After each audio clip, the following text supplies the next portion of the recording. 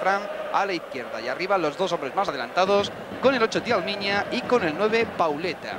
En el banquillo de la suplencia, alternativas para Javier Irureta, Rufai, portero suplente, a todos aquellos que no estamos sufriendo en un. De cambio, en el Deportivo realmente discutido. ¿eh? Fíjense la sonora pita que se escucha Seiro Dalmiña.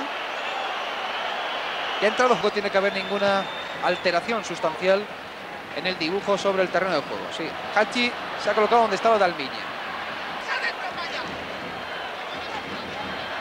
Escucha Hachi, arriba al Turu Flores. Se apoya sobre el marroquí. Flavio, de nuevo Hachi. Este jugador que actuó durante el pasado mundial con un dedo de su pie roto. Lo hizo de maravilla. Hachi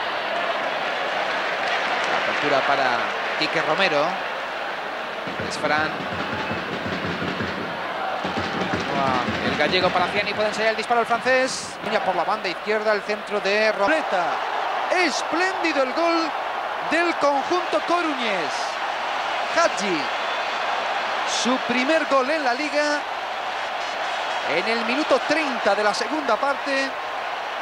Y fíjense, apenas tres minutos después de haber saltado al terreno de juego en sustitución de Dalmiña entre silbidos de desaprobación, no por él, sí por la ausencia de Dalmiña, del público de Riazo.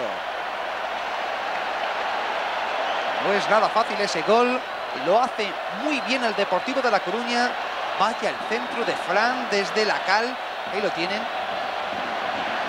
Como Hadji, absolutamente libre de marca, anota el gol para el equipo gallego. Deportivo de La Coruña 1. Y ya saben aquello de si llega la derrota, quién sabe si la destitución de Luis Vangal.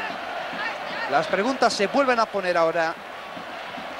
En la está desde luego con un aspecto francamente malo. La volea de Hadji impecable.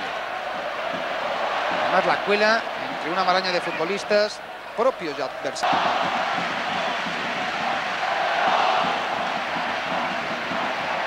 El público de Riazor que por ahora la derrota azulgrana certificada por este gran gol de Hachi. En el minuto 30 de esta segunda mitad. Se fue al banquillo a celebrarlo con sus compañeros.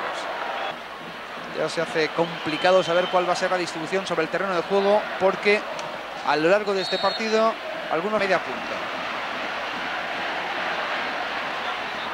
Ese es Reisiger. Es Pep Guardiola. Gana el Deportivo por mediación de Flavio Conceição. Ahora entra por la banda izquierda. Decían Hay que buscar el gol del empate. Le quedan todavía al Fútbol Club Barcelona.